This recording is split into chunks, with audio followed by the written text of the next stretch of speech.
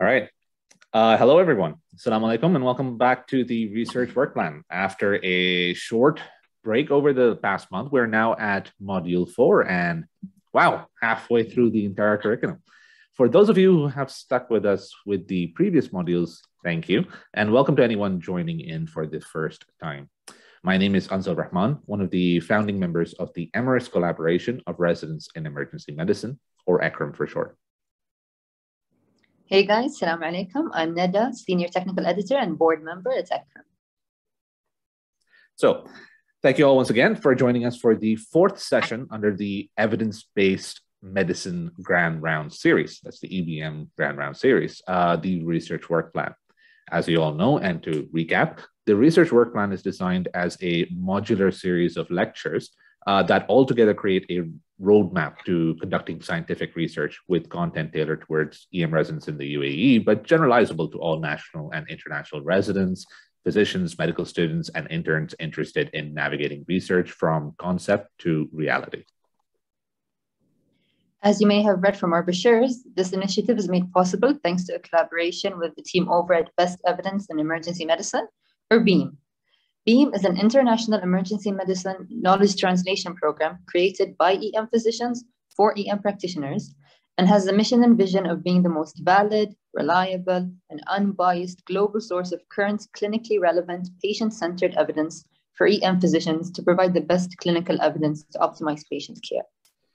We are incredibly grateful and proud to host some amazing physician researchers from the UAE and Canada who have put forth an invaluable effort to produce the content within this series.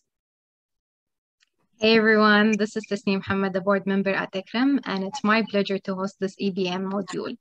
Now, a few housekeeping notes before we get started. Please note that this session is being recorded and it will be posted on the ECREM website.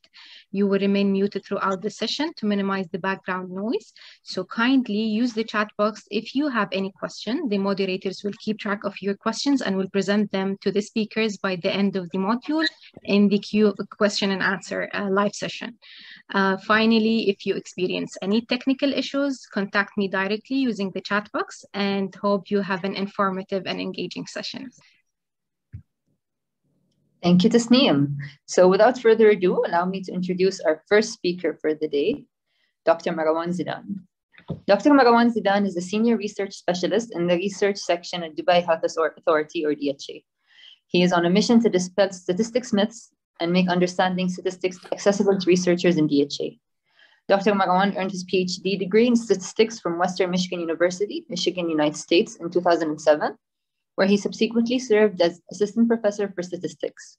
In 2009, he joined Wayne State University School of Medicine as assistant professor and worked as a biostatistician in the Michigan Research Center. Dr. Marwan Zidan used his skills to help the faculty, fellows, and residents in the research projects, including research design, data analysis, manuscript reviewing and editing, and publication. Dr. Marwan moved to UAE and joined UAE University as visiting assistant professor in 2014, where he taught several statistics courses for different majors. In 2018, he joined DHA as senior research specialist. Dr. Marwan is an editorial board member as statistician for Dubai Medical Journal and Dubai Diabetes Journal. Welcome, Dr. Marwan.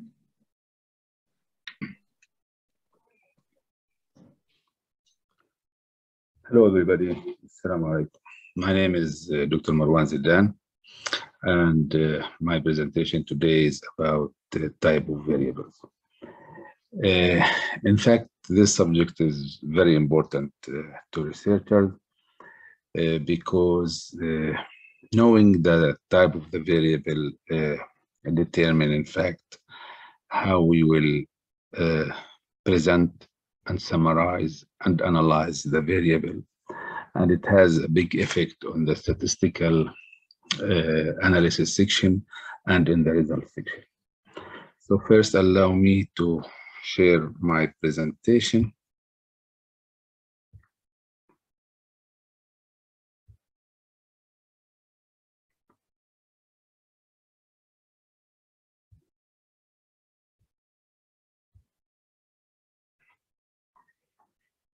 Let's start with the outlines of this presentation. By the end of this presentation, it's about 40 minutes, uh, we should be able to know the difference between qualitative and the quantitative variables, uh, able to recognize the level of measurements in the data, should be able to prepare our Excel sheet for data analysis, then uh, how we will present and summarize our numerical and categorical variables in our manuscript, and then uh, how we'll analyze and will present the most common statistical test we use to analyze the numerical and categorical uh, variables. In fact, before I start with the type of the variables, uh, I always uh, prefer to start with these six basic and fundamental key definition or concepts in uh, research, not only medical research and any research. We need to know first what, uh, what do we mean by the population of the study? What is the parameter? And what's the census?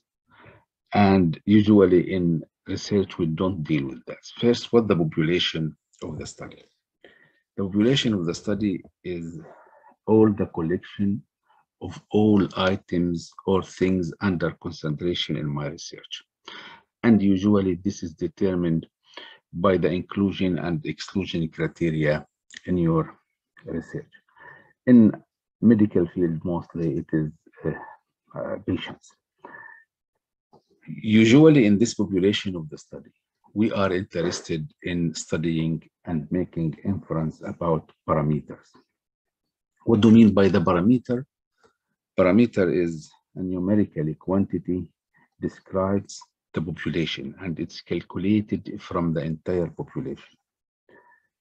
So for example, if our population of the study is colon cancer patient, and maybe I am interested in knowing what's the average lifetime for colon cancer patient in UAE.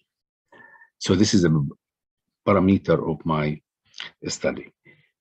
If I want to know the parameter, which is a numerical quantity calculated from the entire population, I need to go to the all colon cancer patient in my example and follow them up and uh, calculated the average lifetime, which is, in fact, it's not possible because this is infinite population. So mostly the population parameter is unknown. The same if I want to know what's the prevalence of diabetes in UAE. I need to do the same. I need to collect the data from all uh, adults in UAE, and that's called census collecting the data from the entire population is census and it is very hard to be done. Uh, if you want to know the parameter, you need to do census and usually we can do this. So another examples of parameter, for example, if I want to know what's the prevalence of diabetes in UAE. The exact number of the prevalence is unknown if I want to know what's the correlation coefficient between the body mass index and the total cholesterol. Again, I need to get the data from the entire population to know the exact value. Most of the times, I don't know this exact value. So I will do research and instead of dealing with the entire population, I just select a sample from the population. Sample is just a subset of my population of the study, a group a portion. This subset need to be representative of the population. And instead of calculating the parameter from the entire population, I calculate the similar number, but from the sample, which is which we call it statistic. So instead of calculating the average lifetime for all colon cancer patient, we calculate the average lifetime for 100 patients. This is calculated from the sample using survey. So survey is collecting data from a sample and we calculate the statistic from the sample and we use these statistics, whether it's means or proportions or odds ratio or correlation coefficients or regression parameters, etc. We use these statistics to make inference and conclusion about the entire population. So this is very important to know that in our research, we have a sample of patients or a sample of the population. We calculate the statistics from this sample and we make inference about the population parameter based on these statistics in the sample.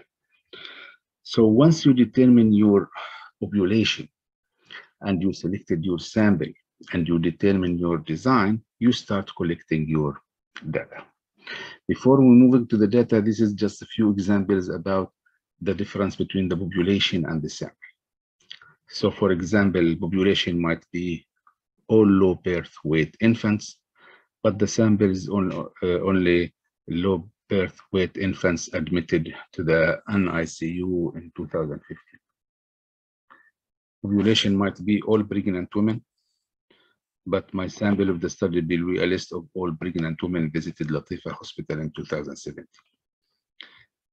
Uh, another example about the parameter and the statistics, uh, the same example I just mentioned. Population might be all colon cancer patient. Sample is just 100 patient. The parameter, the average lifetime for the population of all patients, which is usually unknown, but we calculate the statistics, which is the average lifetime for the 100 patient, which is my sample. So this is statistic. And we will use this statistic to make inference about the population. So this is example about population, sample, parameter, and statistics. Now, these statistics, in fact, in fact, we obtain it from our sample after we collecting the data. So first we need to collect the data and we need to see what type of data we have. Usually, when we start collecting data about patients in medical field, you collect what's the gender, what's the age, what's the weight, what's the body mass index, what the symptoms, what the medication, what comorbidities, admission, ICU admission, uh, mortality, etc. So these are variables. How to distinguish between these variables? Really, in fact, the variables in general divided into two parts. Either qualitative variables, or sometimes we call them categorical variables, or quantitative variables, or sometimes also we call them numerical. I'll start first with the qualitative or categorical variables. As the name, in fact, says, the value of the variable is name, is label, is quality, Eh, eh, is uh, category. It's not a number. Like gender. When I when you want to report the gender, you don't use number, you use male or female.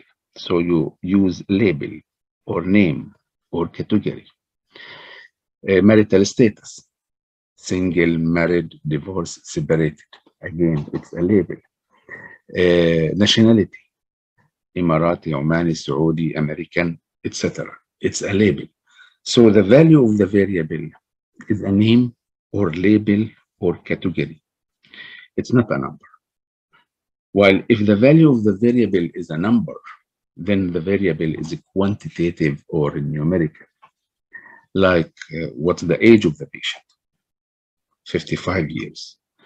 Uh, what's your blood pressure? Uh, 120. Uh, what's your weight? What's your body mass index? Uh, these are numerical variables.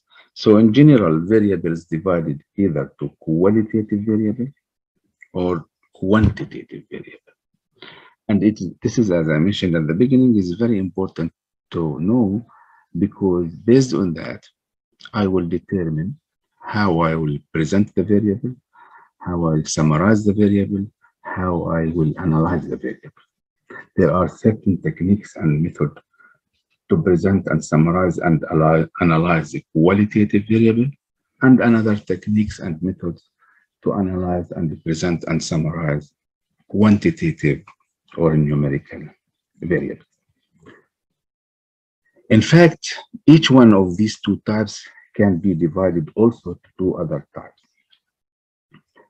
Qualitative variables, both are quality, but there are two types of qualitative variables, either nominal or ordinal. What's the difference between them? Very simple difference. In the nominal variable, the categories of the variable has no natural order, like gender, male, female. There is no category higher than another category. If you put male first or female first, that will not affect the variable. There is no natural order. Marital status, nationality. There is no natural order in the uh, categories of the variable. So this is called nominal and this is the lowest level of measurement. A little bit higher level, which is still categorical or qualitative, which is ordinal. In the ordinal, the categories of the variable has natural order. Like, for example, pain level, mild, moderate, severe. You can decide or know which one is higher than another. Your educational level, elementary education, secondary education, undergraduate education, postgraduate education. So there is natural order in the categories, but they are still qualitative variables and categorical variables, but they have a little higher level than the nominal because we know the category and we know which is higher, which is lower. Uh, performance level, excellent, good, fair, and poor. Both of them, nominal and ordinal, are qualitative variables, but in the nominal, there is no natural order in the categories. In the ordinal, there is natural order in the categories. Is this important? Sometimes, yes. Sometimes some statistical analysis uh, for ordinal different from nominal. The other two levels, again, numerical also divided into two levels.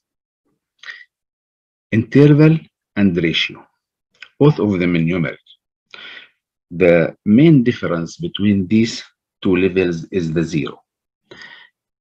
The zero of the variable is if it is arbitrary, which is does not mean the absence of the variables, not absolute, then the variable is interval. Intervals means I can determine which one is higher, which one is lower, can know the difference between them, but I can't make the ratio because the zero is arbitrary. A good example of that is the temperature. The temperature when you have a cup of water 10 degrees and another 20 degrees, this is warmer, 20 is warmer than 10, and the difference is 10 degrees. But I can't make the ratio. I can't say this is double this or this is half this. Because if you change to Fahrenheit, the ratio is no longer 1 to 2. So because the zero is arbitrary, the zero does not mean the absence of the variable, the numerical variable considered interval. If the zero is absolute, which means the absence of the variable, like weight, height, power, if the weight is zero, then there is no weight. Height is zero, there is no height. The zero here is absolute, so the numerical variable considered ratio, which is the highest level of the measurement.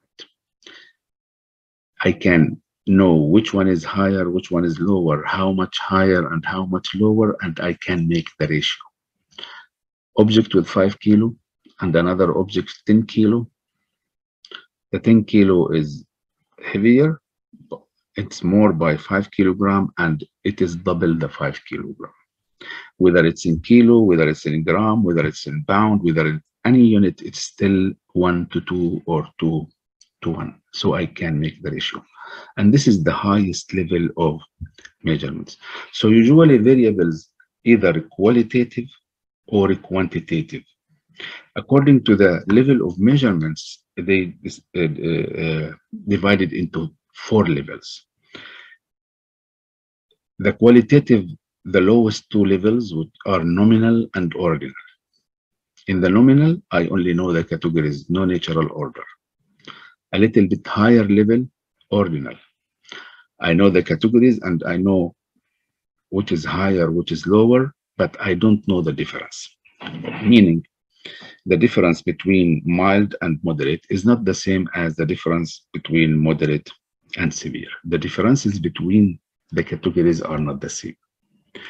A higher or the third level, which is a numeric, it's interval. I can say which is higher and which is lower by how much. 10 degrees or 20 degrees, the difference is 10 degrees, and this is higher. But I can't make the ratio because the zero is arbitrary. The highest level of the measurement is the ratio. In the ratio, I know which one is higher, which one is lower, how much higher, and also I can make the ratio because the zero is absolute. So these are the four level of measurement. In fact, as I mentioned, for nominal and, nominal and ordinal, maybe it's important to know because sometimes there is statistical analysis for ordinal uh, different from nominal. But for interval and ratio, really it, that does not affect the analysis. Whether it's interval or ratio, I will do the same analysis. I will use t-test, I will use ANOVA, I will use correlation and regression for this numerical variable, whether it's interval or ratio. So this is the first, I guess, two or three objective of this presentation. As just practice for the definition of for type of the variables what is the measurement level of the following variables? Remember qualitative is either nominal or ordinal quantitative either interval or ratio weight height body mass index temperature they are all numerical way too high to body mass index, they are ratio because the zero is absolute. Temperature is a numeric but interval.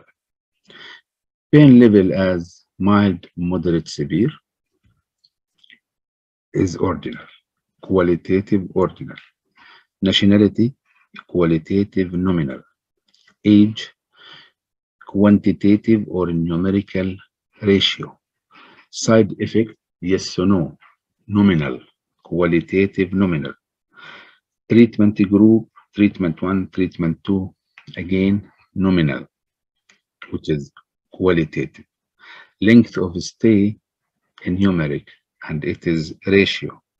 Mortality, yes or no, qualitative nominal, and a lot more similar to this variable. So it's very important to know what's the type of the variable because that's will decide how I will present and summarize and analyze my variable. Before you start analyzing these variables, you need to prepare your Excel sheet for your sample of patients. How to prepare your Excel sheet for the analysis. In your Excel sheet, you should have each patient in one row or each variable in one column. So if you have 100 patients, you have 100 row in your Excel sheet. If you collect 20 variables from each patient, you have 20 columns. Each patient in one row or each variable in one column. Now for the variables, if the variable is a numeric, you report the number, you report the age, you report the weight, you report the body mass index as a number. If the variable is categorical, you use a numerical code. This numerical code has no numerical meaning. You can't do addition and subtraction and multiplication on this number. It's just a code. So you can use one for male, two for female, or zero, one. Any two codes. One for mild, two for moderate, three for severe, and so on. For comorbidities, one for diabetes, two for blood pressure, three for cardiovascular disease, etc. So just a numerical code. And your Excel sheet at the end, going to be look like that. This is an example of, I guess I have 30 patients, but uh, I, I couldn't show all of the Excel sheet. This is the patient number. This is the first variable, food transit time in minutes. It's a numeric. I report the number. Treatment group one and two, categorical. Gender, male and female, zero, one. Side effect, yes or no, one or two. Will weight before, will weight after, will age. All of them in numeric. So I report the numeric value. So this once you put the, uh, your data in this Excel sheet, it's very, very easy to uh, export this Excel sheet to the SPSS or any other software and analyze your variables. Now, for the second part of this presentation is about the descriptive and inferential statistics. After you collect and code your variables and prepare your Excel sheet, and you know which one is numeric, which one is categorical, then you start to describe your variables and analyze your variables. For the descriptive statistic, how to summarize and present your variables. If it is a numerical variable, you have two cases. If the variable is bell-shaped or normally distributed, then we present it as mean plus minus standard deviation. We say the average age of my patient is 50 years plus minus six years. Mean plus minus standard deviation. If the variable is skewed, is not bell-shaped, we report it as median, range, or interquartile range. Median of uh, age for my patient is 55 years, minimum is 30, maximum is 80 years. I report the median and the range. For categorical variable or qualitative, you only report the count on the person. I have in my sample, for example, my sample is 100 patient, 30, this is the count, followed by the person, 30% are female. 20, which is 20% have diabetes. 10 or 10% admitted to the ICU. So if the variable is categorical, you only present it or summarize it as count and percent. If it is a numeric, you summarize it as mean and standard deviation if it is bell-shaped, median and range, or median interquartile range if it is skewed. This is how to summarize your qualitative and quantitative variables. How to present them? Again, for the categorical variable, qualitative, we can summarize the categorical variable using either a frequency table or bar chart or pie chart. These are the most common. If it is a numeric, we use the dot plot or histogram or box plot. The most common one is the box plot. So you can't use the pie chart for numerical variable. You can't use the box plot for categorical variable. So it's very important to know if it is categorical, I only can use these. If it is numerical, I can use histogram or box plot or dot plot, but I can't use pie chart or bar chart. Uh, in the next slide, I just give an example about categorical variable. Three methods ways to, to present it. This one to the left called frequency table, the categories, the count, and the percent. This uh, very example about pain level, categories of the pain level, no pain, mild, moderate, severe. I have 90 patients. Another way to summarize the same data is using the bar chart. A third way is using the pie chart. Don't use more than one to summarize the same variable. Either the frequency table or the bar chart or the pie chart for the variable. Don't use more than one. If you want to show the exact values, use the table. If you want to show the pattern, And the trend show the bar chart. For the numerical variable, these are the methods. Either histogram to the left, or dot plot, or box plot. I would not go in detail on this because another presentation will describe that, but these are the method how to uh, summarize your numerical variable or the graphs used in the manuscript to summarize the numerical variable. The last part of this presentation is about the inferential statistics, analyzing these variables, categorical or numerical. Uh, meaning, if your variable is a numeric, you are dealing with means and standard deviation. If your variable is categorical, you are dealing with count and percentages or prevalences. So in the inferential statistics, which is simply how to draw conclusion about the population parameter using the information in the sample. This is called inferential statistics, which is mostly either estimation or testing of hypothesis or test of significance.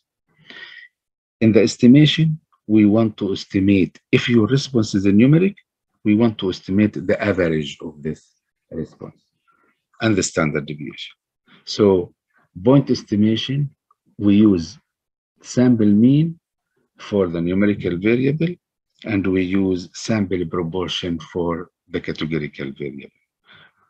We say the prevalence of diabetes in UAE is 25%, for example. So this is sample proportion. I will use the sample proportion to draw conclusion about the population proportion. I say the average lifetime for colon cancer is four years from my sample, and I will use this number to be generalized to the entire population. This is point estimation. Also, I can construct the 95% confidence interval for the mean if my response is a numeric, and the 95% confidence interval for the proportion if my response is categorical. The other part, part of inference is test of significance. Again, it's very important to know what's my response. Is it categorical or numerical? Because that will determine what test I will use. To decide what test I will use, I need to know, sorry, is my response a numeric or categorical? Is my predictor numeric or categorical? How many groups I have in my design? I have only one group or two groups or more than two groups. If my response is a numeric, is it bell-shaped or is skewed? Is the sample size is large, sample size is small? All of these factors affecting the test that I will use for my analysis. So I tried in the last slide just to summarize the most common test of significance we used, whether my response is a numeric or categorical. If I have one group or two groups or more than two groups. If I only have one group, is it true that the average lifetime for colon cancer is four years in UAE? In this case, my response is lifetime, which is a numeric. I check if it is bell-shaped, I will use one sample t-test. If it is skewed, I will use Wilcoxon signed-rank test. If my response is categorical, I want to test if it is true that the prevalence of diabetes is 25% in UAE.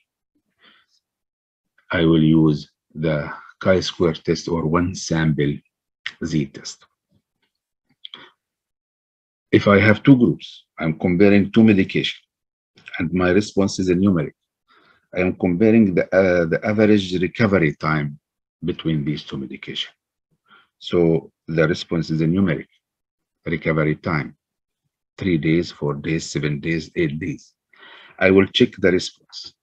If it is bell-shaped for the two groups, we will use two sample t-test. If one of the groups is skewed, the average, uh, the recovery time, then we'll use the non-parametric test, Mann-Whitney test. if I want to compare categorical response between these two groups, uh, the recovery rate between these two medication, or the side effect between these two medication, I can use either chi-square test or odds ratio, relative risk, or risk reduction. In fact, the risk reduction, we have absolute risk reduction, which is the difference between the two proportion, or the percent risk reduction. If you have more than two groups, if you're comparing three different medication, look at your numerical variable. If your response, sorry, if your response is a numeric, check. Is it bell shape for the all the groups? If it is bell shape, we use analysis of variance or ANOVA. If one of the groups is skewed, we use the non-parametric test cross curves. If you are comparing a proportion between these three or four groups, we use the chi-square test.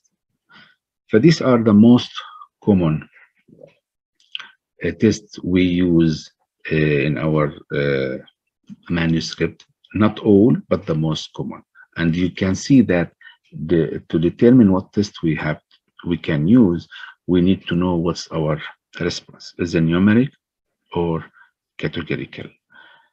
If it is a numeric, is it shape or skewed?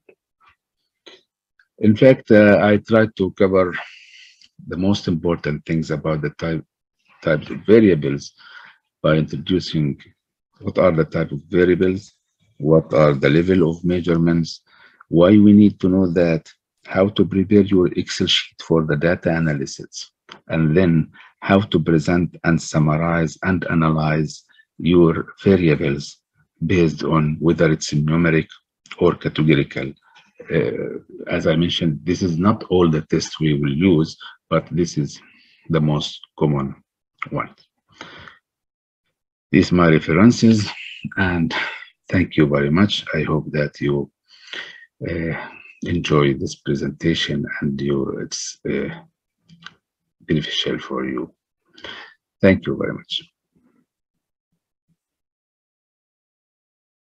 Um, thank you, Dr. Marwan, for that incredibly informative lecture. I honestly feel that even if you had some familiarity with some of these concepts, the presentation and dissection of each type of variable was pretty methodical. So it's likely to solidify your understanding of data, or at least it definitely has done for me. Um, also worth commending is the fact that you took something that residents, myself included, often dread as a topic of study, since it is considered conventionally to be a bit dry. Uh, but fortunately, you stuck to the important bits of information in a clear and concise way and covered the fundamentals of what you need to know going into research. So up next, we have another very important lecture on literature review delivered today by Dr. Suneel Upadhye. Uh, you all know him from the very first module in the research work plan curriculum, where he spoke about why we should pursue research in the first place. Dr. Suneel is an associate professor of emergency medicine and HEI, that's Health Research Methods, Evidence and Impact at McMaster's University. Uh, he's a founding member of BEEM since 2005 and the research lead for the EM researchers of Niagara, which is EMRON, and Niagara Research Campus of McMaster's University Medical School. He works as a staff position within the Niagara Health emergency departments, as well as a guidelines methodologist with the Canadian Association of Emergency Medicine, that's the CAEP, and the Society of uh, for Academic Emergency uh, Medicine Guidelines for Reasonable and Appropriate Care in. That's the SAEM GRACE groups. Uh, that's my quota for acronyms for today. Uh, congratulations and welcome back, Dr. Suneel.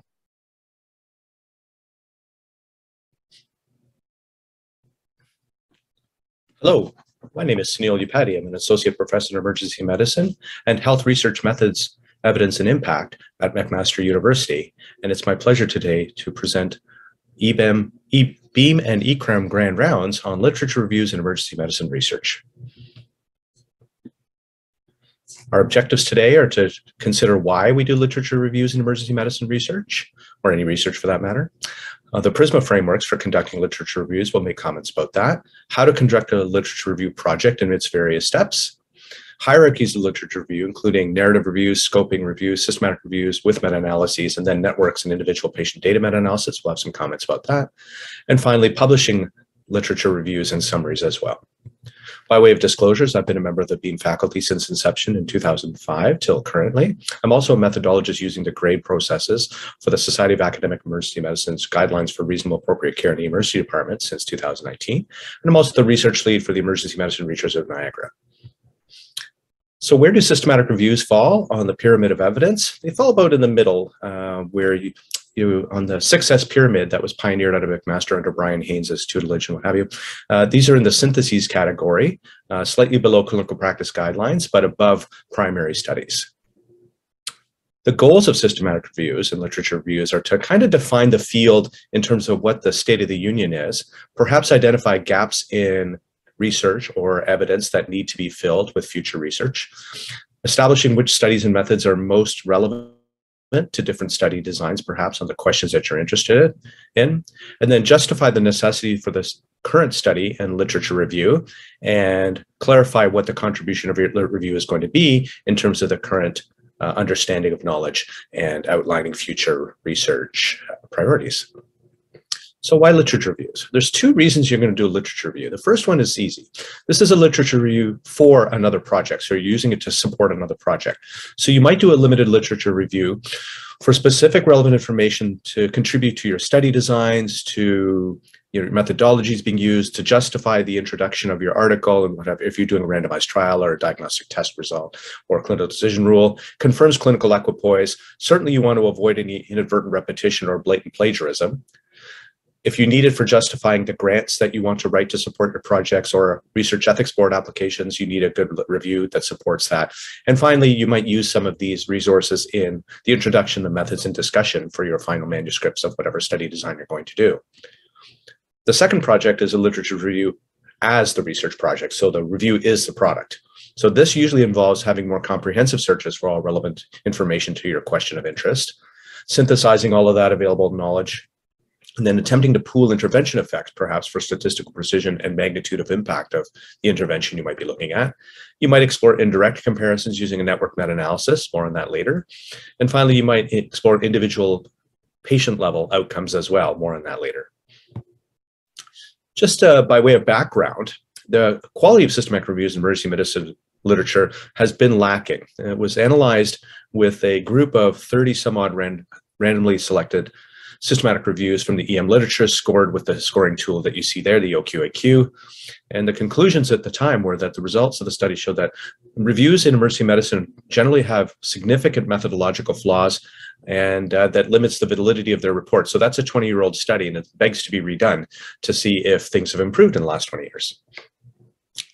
As mentioned, in that time, the PRISMA standard, so the preferred reporting for items or systematic reviews and meta-analysis, or PRISMA is the mnemonic, has been evolving for two decades now to account for these uh, methodological and other uh, shortcomings in systematic reviews. So you can see there's a general write-up here on the web page for PRISMA. And then here, depending on what kind of study you're doing, uh, systematic review diagnostic tests for harms, can, there's individual patient data, network meta-analyses, scoping reviews. So whatever your systematic review design style is going to be, there will likely be a Prisma extension that you should be following as a checklist to uh, to understand the steps that are needed to be done to create a thorough and trustworthy systematic review or meta-analysis.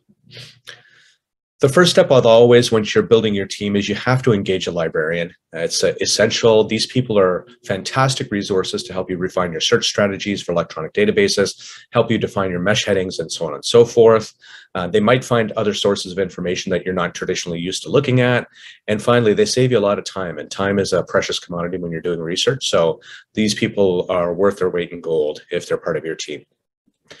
When it comes to actually searching, searching the literature, Annals of Emergency Medicine had a four-part series on this again about 20 years ago on various uh, electronic databases, so Medline and you know tips and tricks about how to set your search parameters, and then what are the other databases available out there. But again, a librarian helps you set, settle all that. Um, the search parameters for your review are generally going to be based on your PICO question, which we've covered in a previous session. Electronic searches may involve bibliographic databases, so Medline, CINAHL, LILAC, Embase, BIOSIS, and the Cochrane Library as well. You might go to citation databases like Google Scholar, Scopus, Web of Science. You might also want to look up trial registries like clinicaltrials.gov if you're looking at interventions for some disease of interest. You can also partake in manual searches. So you go through the references lists of the retrieve article, and that's called pearl growing. It's the term for it. And then you can look at other sources of what's called grade literature. So conference abstracts, uh, thesis dissertations, government reports, various websites, and even talking to experts in the field to find literature or information that may not be published that's relevant to the question that you're trying to answer. So the search terms themselves, like I mentioned, the PICO elements of your research question will define your search strategy. The medical subject headings or MESH in, in Medline are best developed with, again, the help of a librarian because they'll know how to explode the features and capture as many different uh, initial articles that may be eligible for inclusion in your lit review as possible. You want to save your search strategy for sure because uh, you, you want to make sure that if somebody else does your search when you publish your article, uh, perhaps in an appendix, they should be able to get the same result. So it's it's speaks to transparency and reproducibility and trustworthiness of the work that you're doing. Pearl growing, as I mentioned, it starts with one article, um, maybe in print or maybe electronic, and then as you start scanning the reference lists for more refer more relevant sources, you find articles, so you pull them, and then you scan through their reference lists and pull more and more and more. And you can repeat this as many times as necessary until you finally uh, have reached saturation. So that's described in multiple resources. It can be done electronically as well. So anybody who's familiar with the Medline databases on PubMed, uh, you can see along the right-hand side, as soon as you found the article you want, then they talk about related articles here on the right-hand side, and then maybe similar ones that have been cited as well. So that's a way to digitally uh, grow as well, or snowball or whatever you want to call it. So uh, using citation managers is an important tool to help you with your lit review if you can. They can be very useful to store your articles, uh, create your personal library for key articles as your life in research goes on and your areas of interest continue to build. So you just have them all stored there, including the citation information. Um, you avoid duplications because, again, as you do different projects, you might search and search multiple times over a lifetime and keep pulling up the same articles. Whereas if you have this all in one master library for yourself, then you can avoid that unnecessary waste of time and effort. Um, some of these programs will actually auto format for you depending on the journal of interests reference list requirements. So the APA style of listing references or the Vancouver style or whatever it is the journal that you want to submit to request, this will take care of that for you as well. So there's a couple of products that are, that are free. One is called Mendeley. The other one is called Zotero. The other ones uh, require some cash payments. So one is EndNote and RefWorks.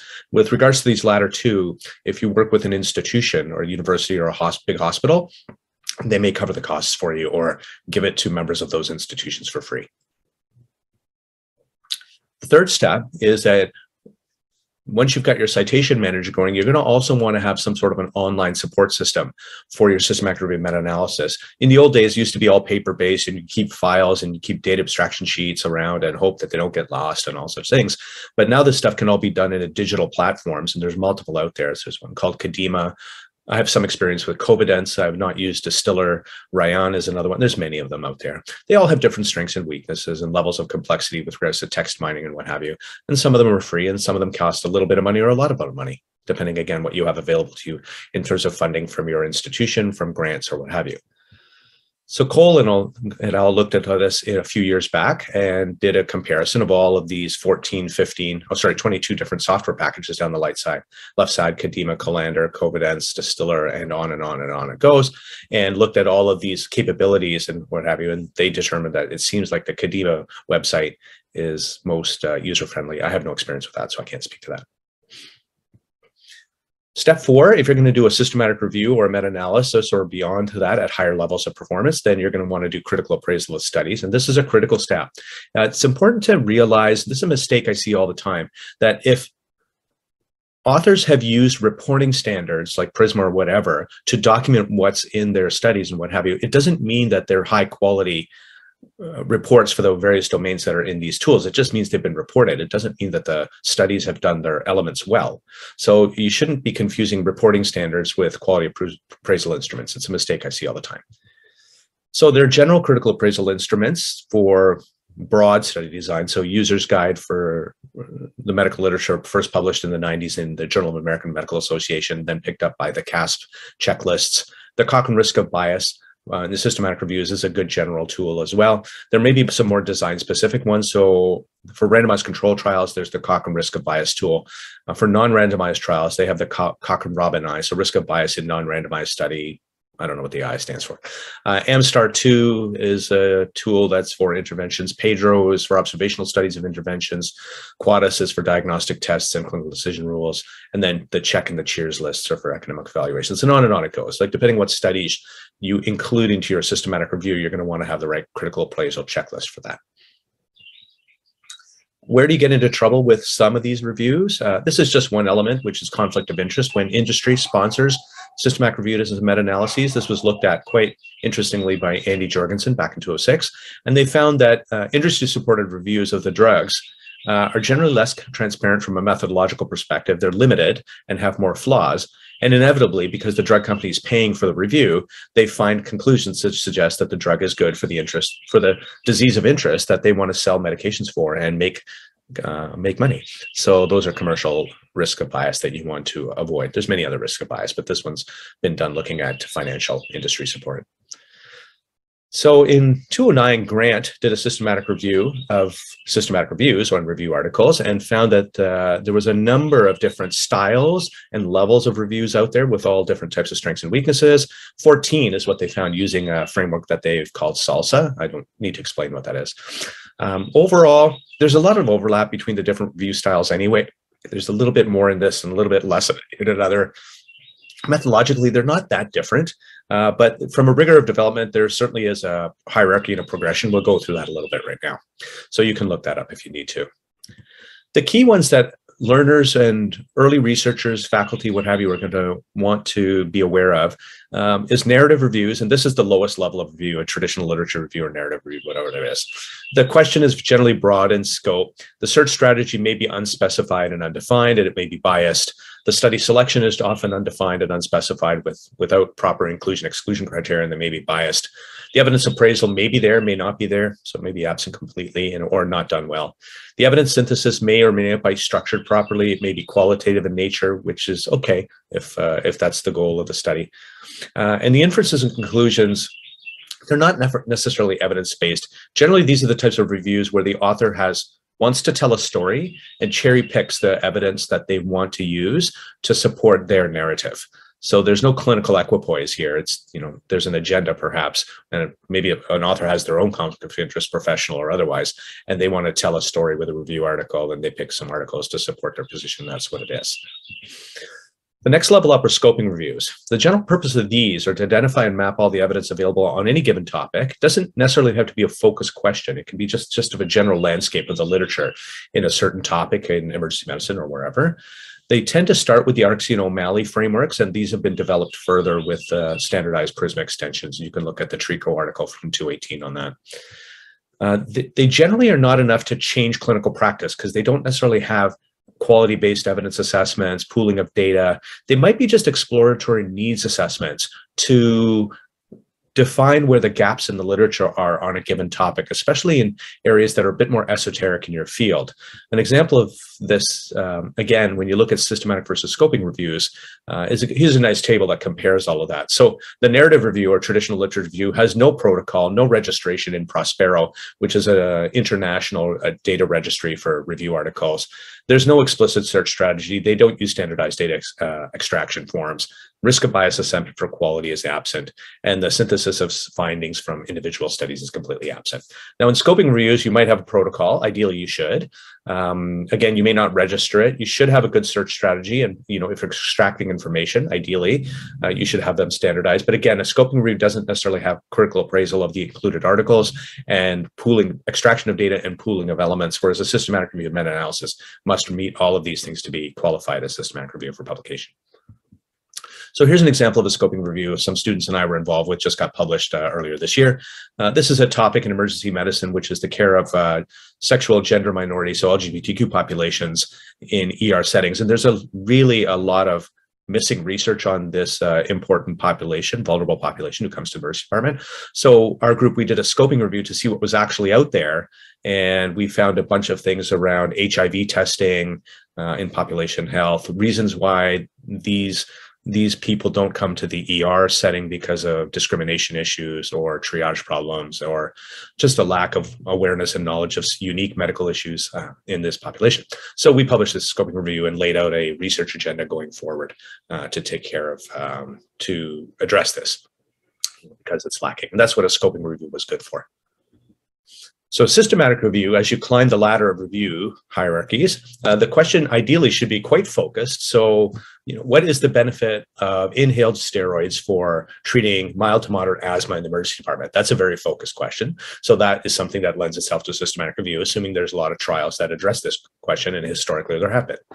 So the search strategy should be comprehensive, comprehensive and explicitly described using the PRECA parameters of the statement I just made the study selection should have criteria saying, okay, we want randomized trials, we want steroids versus placebo or steroids versus another active comparator. The outcome of interest will be discharge rates, admission rates, and recidivism within three weeks, perhaps, and so on and so forth. And the uniform application of these criteria for all the included statistics should be the same, ideally done in duplicate. You might actually do uh, agreement statistics on the search and, and extractions themselves when you do the evidence appraisal, you should use a, a validated tool like we've talked about uh, those designs for uh, previously. And then uh, when you synthesize the evidence, it could be quantitative. So if you're pulling numbers out of individual studies, and you want to pool them all together into a pooled effect estimate or meta-analysis, that would be fine. Or it could be qualitative in nature as well, depending on what kind of things you're comparing. And the inferences and conclusions here, unlike a narrative review, should be evidence-based based on all of the steps that you just completed above. So what are the other fundamentals? You know, you should use a recipe, follow a handbook. There's lots of them out there. Uh, Cochrane's got a very good handbook. It's very rigorous, and they use the GRADE methodology for such. Uh, you got to develop a protocol. You you probably don't need REB approval because generally you're looking at public domain evidence and it doesn't have any impact on patient care or privacy. So you may not need to get REB approval, but you should register it with Prospero just to let the world know that you're looking at this topic in case somebody else is doing at the same time. Or if you go to Prospero and figure out somebody's already doing it or have they're almost finished, you don't need to do your study and waste any time. Setting up an electronic systematic review platform, uh, we've talked about those before, Covidence, Distiller, CADIMA, whatever, whichever one you want to use. The structured literature search, we've talked about using a library to help you with your search strategies based on the PICO parameters, your mesh headings, and so on and so forth. Eventually, you get to a point after you go through titles and abstracts, you're going to pull down full articles for full text review and extract data. This should ideally be done in duplicate uh, to make sure you have uh, proper data abstraction agreement. And then you can pool data with meta-analyses, either aggregate with networks, individual patient data, whatever elements of uh, the unit of analysis is. So systematic review with meta-analysis is the next step up. And this is where you're pulling numbers out of individual studies. And you know, this is from an article from uh, Zed et al. in 2003 in the Canadian Journal of Emergency Medicine. So, so here, here you have a bunch of articles and, you know, here's the raw numbers that go into this table that was generated using, say, RevMan or some other similar meta-analysis software. Uh, here's your raw numbers. It spits out your forest chart here, the percent weight, the confidence intervals. Your total pooled effect estimate is here. It'll give you a I-squared value or some sort of metric for heterogeneity. These all look very similar and what have you, but these are a bit more all over the place. So you've got more heterogeneity in the primary outcome. I'm not going to get into details of homogeneity and heterogeneity. We can cover that another time, but uh, certainly these software programs can give you the forest plots if you're doing a quantitative meta-analysis.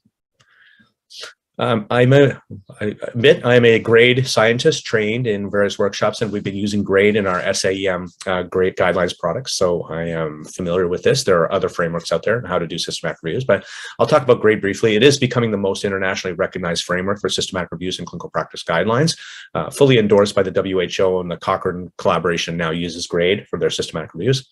There's an explicit step-by-step -step approach on how you create these review programs. There's online support for free using the Grade Pro platform We'll look at that again in a second. They have very clear criteria for upgrading or downgrading evidence, and you enter all of these things into the Grade Pro table for your study, and then you can print this all out later and um, it's very explicit and trustworthy for your audience how you made your decisions on evaluating evidence.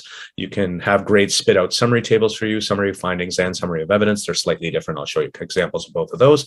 And then you can use these in formulating clinical practice guideline uh, recommendations. So some colleagues and I, we wrote about grade uh, a couple years back in uh, use for clinical practice guidelines. This is a diagram you'll see from the GRADE website and many other GRADE-based articles. The top half of this panel is the systematic review evidence. So I'll only show you that. So you start with a panel who then generate a question with pico parameters, you select the outcomes of interest, you rate their importance, you start doing literature sources, you evaluate all of the studies you want to keep and start extracting data, you do your uh, evidence assessments, and at some point you're finished with your systematic review. And if you want, you can then move it down and finish off the elements of the evidence decision framework to create clinical practice guideline recommendations, and then publish them both separately. It's too big to put them all together. So ideally you should have two publications if you're going to do this.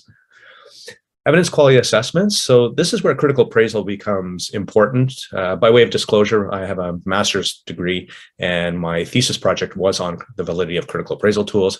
And it's really important to use these things properly to differentiate low quality evidence, which should not be in reviews or meta-analyses or clinical practice guidelines versus high quality stuff, that information that should be included uh, for pooling uh, data and making conclusions. Uh, again, there's different tools out there, some of which I showed you earlier on for risk of bias uh, for the study designs that you're going to be looking at. Just be mindful that you want to defend the use of your tool properly and you want to report on its psychometrics. So, because sometimes the using using different tools for the same body of evidence, the number of studies you're going to look at, can actually generate different results. And this was brilliantly demonstrated by Peter Juni about 20 some years ago um, on treating uh, VTE, so venous thromboembolic disease with unfractionated heparin versus low, low molecular weight heparin. Different different treatments became dominant or superior to the other, and it all had to do with how you picked the studies, which tool you used. So not what was actually the better agent for treating uh, blood clots. So you might want to report your agreement scores as well for the appraisals. It's just more information to enhance trustworthiness. And you can put all of that stuff in an appendix if you need to.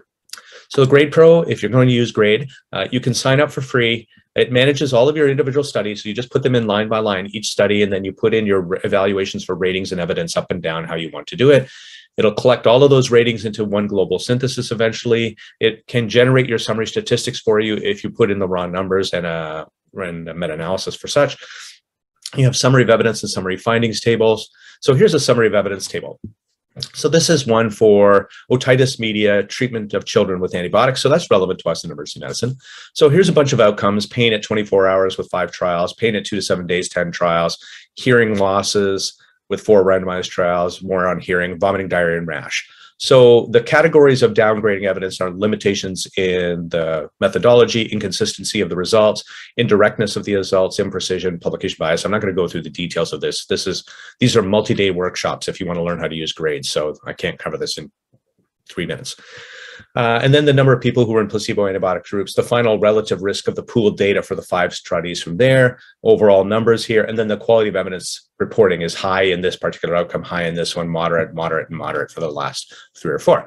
So a different way to demonstrate this is a summary of findings tables, which is a little more clinically friendly. Uh, so, you know, here are the outcomes again, pain at 24 hours, pain at two to seven days, hearing changes, from uh, a surrogate on tympanometry at one month, three month, and bombing dash diarrhea. The round numbers from the trials, the effect estimates re represented here as a relative risk, the number of participants, the quality of the evidence, and then maybe some other comments. So it's slightly different from the SOE table. Uh, there's no right or wrong way to present this data, but uh, if you present either of them, I'm sure they'll be fine for the audience. So a network meta-analysis allows for analyses that are based on both direct and indirect comparisons. And that's the difference between a meta-analysis, which only can rely on direct comparisons of intervention A or drug A versus intervention B or drug B for disease X. Um, this one allows for different things. We'll describe that later. So there is a structured methodology for uh, indirect comparisons. Again, we're using the PRISMA extensions. So this is a network, and this is a diagram taken from Lauren Westafer's article from Annals of Emergency Medicine a couple years ago. So the idea here is you have all of these different medications or interventions. It doesn't matter what it is. So the size of the dot indicates how many studies have addressed this particular intervention. So let's say drug A versus drug D. The thickness of the line shows that there's a lot of trials here. So the thicker the line means there's a lot of head-to-head -head comparisons of A versus D for condition X. It doesn't matter. Now, there's not as many for drug C versus D. So there's a thin line here, C versus B, thin line, uh, one line there, thin line between C, B and B, thin line between A and B. There's a lot more trials for whatever reason of A versus E. And when, when you come down here, so like I said before, the size of the bubble for the intervention of interest is the number of trials that address that intervention. The thickness of the lines is how many direct trials that you found comparing one versus the other. Now, this hashed line here, though, G versus A, means that they cannot find an actual trial that looked at A versus G.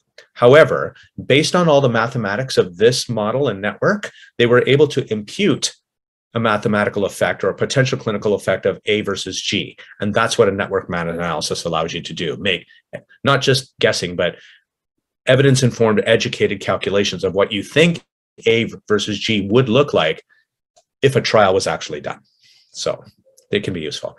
The final group of reviews to know about is individual patient data meta-analysis. So the structure of the unit of analysis here actually are the patients, not the study outcomes at the aggregate level, but you have to contact the authors for these the studies that you've included and you want all the individual patient data because you might want to look at different subgroups or whatever the case may be depending on what uh, your uh, question of interest is for your review. So it'll you can explore different questions subgroups that were not looked at in the primary review maybe based on age gender comorbidities and what have you. You have to be able to get the individual patient data from the authors uh, they should be willing to share that. Hopefully you can get that done. So uh, one of my students and I many years ago, we wrote a summary of one of these individual patient data is looking at the benefits of otitis media in children.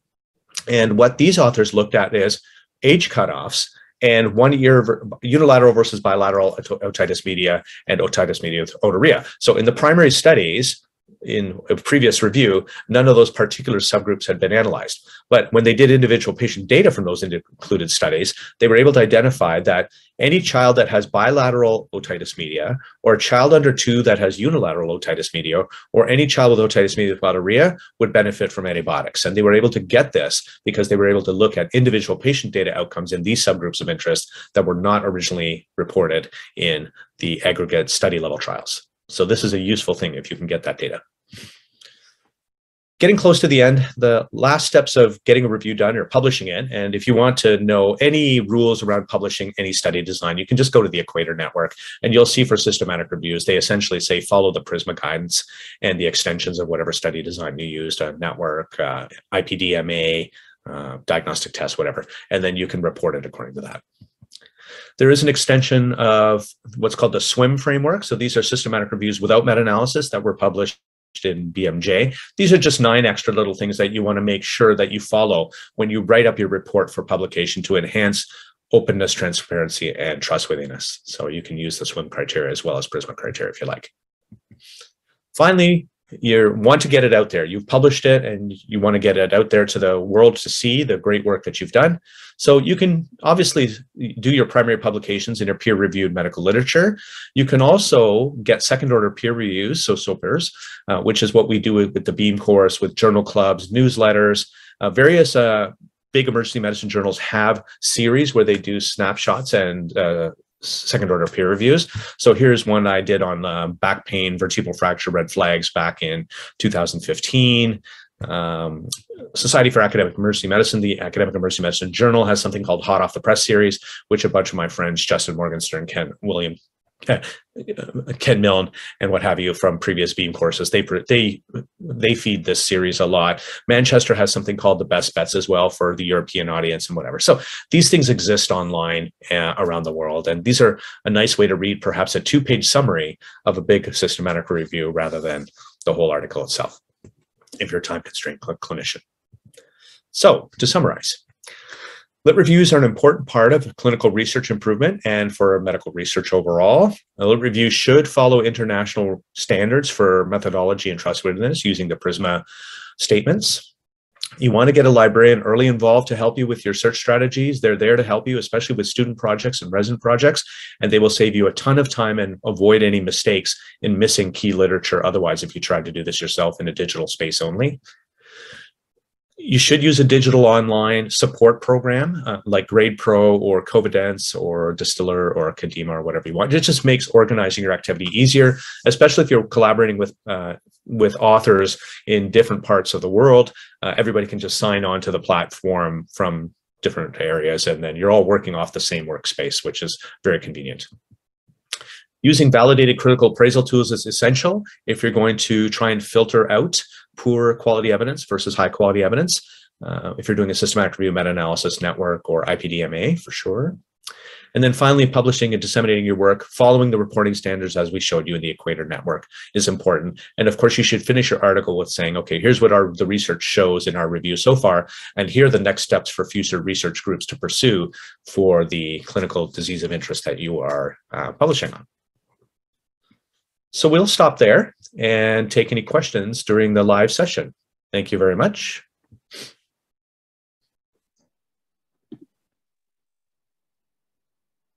All right. Thank you, Dr. Suneel, for that lecture and for that in-depth step-by-step guide on how to approach conducting literature reviews. I must say there are quite a few resources you mentioned that are worth checking out that may, in fact, make the overall process less daunting and more user-friendly than often presumed to be. That wraps up our lecture sessions, which means it's now time to move on to our live Q&A segment. May I please request both our speakers, Dr. Marwan and Dr. Suneel, to kindly switch on their microphones or videos. And dear audience, if you haven't done so already, please feel free to type your questions related to the topics discussed today in the chat box, and Anzal and I will read them out to our speakers. Thank you, Nada. Um, our first question is for Dr. Marwan Zidan. Um, so I think most of what was included in the lecture was fairly straightforward. Um, but I, I have a sort of specific question regarding quantitative and qualitative variables that you mentioned. Um, you spoke about how age is usually a quantitative or a numerical, uh, like an exact figure, and it's best represented by how the exact number is represented in years. Um, however, oftentimes people choose, or I've seen people choose to have it represented in their data collection as qualitative ordinal data, which is like by groups of 18 to 30, 40 to 55, etc. Um, obviously, this reduces precision in a research. Um, but from an analyst point of view, um, what are the particular issues you face during analysis of these types of data? And are there perhaps any benefits to using this method? Thank you. Thank you very much, Dr. Muhammad. Can you hear me? Yep. Yes. All good. It's very, very interesting and important question, and I face this uh, frequently, in fact, in my research. Uh, the, uh, usually, as a statistician, as we mentioned in, in the presentation, it's not recommended to categorize a numerical variable because you lose information, you lose power, and you need more sample size to make up that. Uh, so if you don't have good justification for these cutting points, many researchers came to me and we want to cut the age 30 to 40, 40 to 50, 50 to 60. If there is no good justification for these cut points, these cut points really affecting the result of significance. If you take 10 to 20, uh, 30 to 40 versus 40 to 50, 50 to 60, or uh, 20 years interval instead 10 years, the significant result and the proportion, the chi-square uh, result, it might change. So uh, if you don't have good justification for these cut points, I don't recommend categorizing it. However, however in some other situation, categorizing is, is recommended uh, when it is clinically valid and makes sense. Sometimes uh, I, I, I'm not really interested in the real uh, HbA1c value, but I want to know whether it's uh, below seven or above seven, whether it's controlled or above control. This is meaningful for me instead of comparing the mean between two groups. One mean is uh, six and the other is 6.5. If you have large sample size, it might be statistically, statistically significant. But clinically, it's not significant. I'm interested whether it's control or not control. I want to compare the percent of people control the HbA1c versus not. For sometimes it is recommended. It is uh, really makes sense. Uh, it, it really depends. If you have a valid justification for categorization, yes, go for it, and it's sometimes recommended. If you don't have a valid justification for categorizing, I prefer to keep it in numeric and see the effect of the age on any other outcomes as a numeric. There is no need to categorize it. Yes, categorization might make the analysis easier, more appealing for presentation, yes. But uh, as I told you, it's affected by the cut points. Sometimes older, younger, if you have good cut point for to compare older with younger, uh, that's maybe uh, justified. Uh, but uh, big random cut points for categorization, this is really risky. Yeah, uh, it makes sense. I mean, uh, the, the, the message basically I'm getting is always talk about the research question. And I think this resonates with uh, something Dr. Suneel mentioned in the chat while we were having our webinar. Is it's important to talk to your biostatistician before you start your data collection, right? So, exactly. uh, so that you don't make those mistakes and you know what's going to be statistically or clinically relevant, and you don't want to answer the wrong questions and just confound the issue. So exactly. that makes a lot of sense. Thank you very much, um, uh, you're welcome. Thank you. I'll, I'll have uh, Nada and ask the next question. Right. Thanks, Dr. Marwan. So our next question is for Dr. Suneel. So within literature reviews, particularly systematic reviews, which you mentioned, authors often utilize subgroup analyses that basically address outcomes within selected studies from the reviews that have similar traits, like you gave us the uh, example of the otitis media paper. So when you analyze these subgroups, they'll give you more homogeneous results compared to from the whole package of studies. And it may make sense in theory, but given the fact that these subgroup analyses were never part of the original research question, and so they didn't undergo the same rigorous protocol and scrutiny in the review, what potential problems do you see arising from the use or elaboration of these subgroups in systematic reviews? And is there any way to improve their use, or should they be avoided altogether? So, can everybody hear me okay? Yeah. yeah. Okay, perfect. So, that's a great question. Um, subgroup analyses are risky in the sense that they are often generally supposed to be used as exploratory means of doing uh, hypothesis exploration but not necessarily answering a question that hasn't been already defined in your primary review now it is it is legitimate to do predefined subgroup analyses but you don't want to do too many of them because at some point if you're doing a primary review and you're doing i don't know 20 or 30 subgroup analyses by chance alone, you might find one that is significant. Uh, so you have to be a little mindful of that, especially if the numbers are not that robust in the various subgroups you're looking at and your sample size isn't big, then if you start to put all these numbers into a forest plot, your confidence intervals become wide and you run the risk of having spurious uh, results with high heterogeneity or whatever it is. So a, a, a, a, clean rule on such thing is keep your subgroup analyses to thing to small numbers that are clinically relevant or at least biological plausible and what have you. I was just uh, checking on some things with uh, regards to that a little bit. Um, there, there are some rules around how to do subgroup analyses as well uh, in different study designs. Uh, BMJ in 2015 had an article by somebody named Burke uh, that we can send along if needed for such things. Uh, the GRADE group also is diving deeper into how to do subgroup analyses in a uh, thorough, transparent, and credible way. Uh, the challenge with subgroup analyses is if if your subgroups that you're pulling out of the papers that you've searched for and retrieved and made your filter cut based on quality appraisal uh, has information that's fine but there may be articles out there that if you didn't rigorously search for those particular subgroups you may have some missing information that that's a, a, a bias and a threat on us. Search and selection bias uh, relative uh, early on in your project. So just you know answer your question or your primary questions. Keep your subgroup analyses to a minimum and you should be able to avoid any traps with regards to getting into um, unjustifiable conclusions based on um, untrustworthy subgroup analyses if i can put it that way Absolutely. I think a lot of what you said makes sense, and especially the part about having missing data when you look at the subgroup analyses of the information that you only have. So I think it's an important point to keep in mind, and hopefully in the future, if we have more um, standardized ways of doing subgroup analyses, then they might be of use to uh, yeah. research. There is a there is a small section in the Cochrane Handbook online about uh, just some uh, rules and and uh, cautionary commentary about doing uh, subgroup analyses and making sure you don't fall into uh, bias traps or false negatives, false positives, and what have you. Great, thank you so much, Dr. Suneel. Yep. Yep. I think I think that's good to know when reading systematic reviews as well that the subgroup analyses are not going to go through the same. I mean, they're they're more of a convenient sample, if if if anything uh, if you're looking at it, don't look at it with the same same same eye as the actual systematic because they didn't go through the same protocols. They just sort of had a grouping yeah. of data based on what you wanted as a result.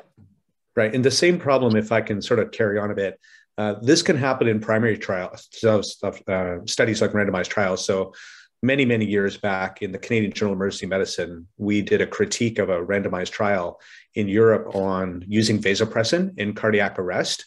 And they did, I don't know, a couple dozen subgroup analyses on their data because their primary outcome was negative on vasopressin versus epinephrine or other drugs for cardiac arrest in out of hospital settings. Uh, however, eh, they found in one of their 20 some odd subgroups, um, there was some hint that vasopressin in, I don't know, I'm going to say um, asystolic women above an age of this, like I'm just going to create this nonsensical subgroup, uh, showed some uh, benefit and there was commentary after that that said, stop the presses. We need to go back to rewrite all the ACLS guidelines over and over. And we, we wrote a critique in Canadian Journal of Emergency Medicine saying, look, the numbers in this two by two table that you're, you're purporting this conclusion on are very small. Your loss to follow up was substantial. And we plugged those loss to follow up numbers into every cell of the two by two table. And in most of those cells, if we put those missing patients back, we could negate that outcome and even if we did one person across the different cells, we could negate or reverse that outcome. So that was a seriously flawed subgroup analysis that thankfully did not lead to changing ACLS protocols for pre-hospital out of uh, hospital cardiac arrest because you know it, it's a piece of flawed information or faulty information that has substantial policy changes uh, in clinical practice worldwide and so thankfully that didn't happen. But there's the risk of such things that, and this is this is where the scientific literature gets risky all the time. And COVID is a perfect example of these types of things when it comes to prevention health measures, masking, vaccine benefits, vaccine efficacy across different groups, and on and on and on, because there's a desperate uh, quest to find groups of people who benefit from these things so they can then inform policy statements. I'm not here to criticize the COVID literature. We could go on for days about that, uh, but uh, it's it's a risky game. So you have to be a bit of an educated consumer and caveat emptor. Let the buyer beware, let the reader beware. Is really the takeaway. I think that there's also a conversation or basically an argument to be had, which we can address, of course, in future modules about the fact that the fact uh, people chasing these outcomes or these positive results is it is a result of journals not accepting anything that's negative. So having negative studies being being healthy as part of the uh, entire academic, you know, project would would probably inevitably allow people to be comfortable with the fact that okay, we didn't find something. Um, but I mean, that's a whole conversation for another time, I think. Um, so wrapping that up, I have a, another question for Dr. Marwan. And uh, I, I, feel like this is more of a nitpick than anything else because when you talk about types of variables, like we said, we could just probably sit here for hours and talk about all the different types of categorizations and different nomenclature surrounding variables. But one thing supposedly sort of stands out in the list of um, or the index of the types of variables, so to speak, uh, which is um, something called a time to event variable.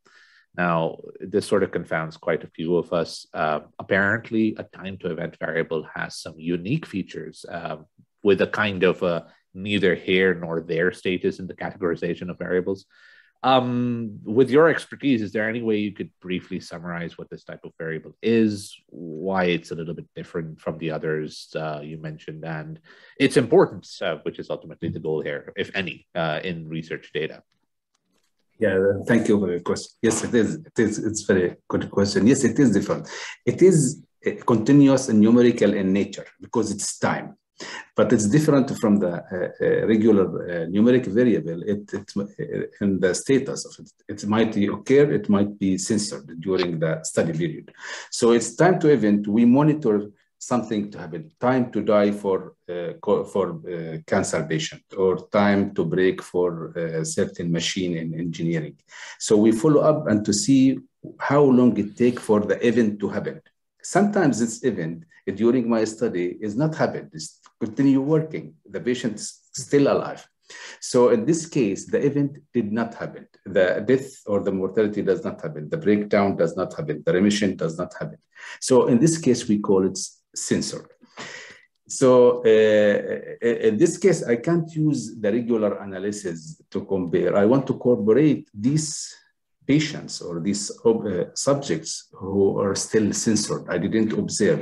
So we include them in, uh, in the analysis using survival analysis, uh, Kaplan-Meier survival curve to see what's the probability for a colon, for a patient, uh, cancer patient to live more than four years or less than three years or more than five years we use this survival curve and also we use uh, Cox regression to see what's factors affecting this time to event, the lifetime for the uh, uh, for the cancer patient or the lifetime for this machine or uh, the time to event for anything we are continue observing. So it is in general numeric in, in nature, but it is uh, it might happen, might not happen, uh, sensory, and if it in this case, this is how it is uh, different from the numerical variable, and we use another kind of analysis, which is survival curve and survival regression by Cox regression. Uh, makes sense. I, I, think it's important to know this slight caveat because mortality yes. is such an important outcome in most, you know, observational studies, interventional studies, you know, RCT, right. so to speak, especially when we're talking about drugs interventions or um, retroactively looking at things that might have affected that. So it's one of the most important things when we talk about resuscitation and uh, uh, other things, right? So um, yes. important to know. Thank you very much for enlightening us about this. Yeah. Um, we do not have any more questions at the moment, but it's been an absolute pleasure. And um, uh, uh that about brings us to the end of uh, module four for the research work plan. Um, thank you to Dr. Marwan Zidan and uh, Dr. Suneel Upadhye for two amazing uh, lectures. Uh, and thank you to all the audience and participants who took the time out and in uh, well, hopefully enjoyed joined in today. Um, please don't forget to follow the link in the chat box that uh, I believe uh, has been put up and should be on the screen as well. Fill in the feedback form to download your CME certificate. Um, and that's all from me. Over to you, Nada. Thanks, Anzal. So on behalf of the entire team of ECREM, I would like to thank both our speakers for their time, cooperation, and valued contributions to this academic initiative. Thank you, doctors. And I'd like to thank Tasneem, our host, for working her magic behind the scenes. And thank you to each and every member of the audience for your participation. We hope this module will help open vital conversations surrounding data and literature reviews. And we'll see you all soon for Module 5 with the research work plan where we shall discuss all things related to data analysis. Thank you for joining us today. Goodbye. Thank you very much. Bye. Hi, everybody. Bye. Bye. Bye, Bye Dr. Suneel. Thank you. Bye. Bye. Nice to meet you all. Nice, nice meeting you.